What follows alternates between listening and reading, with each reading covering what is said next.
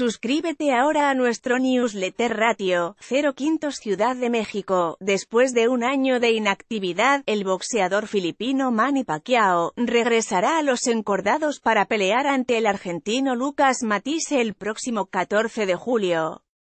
El boxeador pampero es el actual campeón de peso welter por parte de la Asociación Mundial de Boxeo, AMB, y pondrá en juego su título esa noche ante el Devora Mexicanos.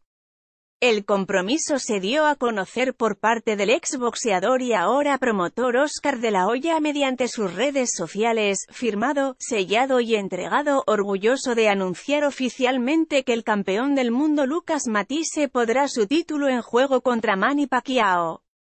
Pacquiao ostenta un historial de 5-9, 7, 2, 38 por KO paréntesis que cierra, sin embargo en su última contienda fue derrotado por el australiano Jeff Horn con una decisión polémica por parte de los jueces.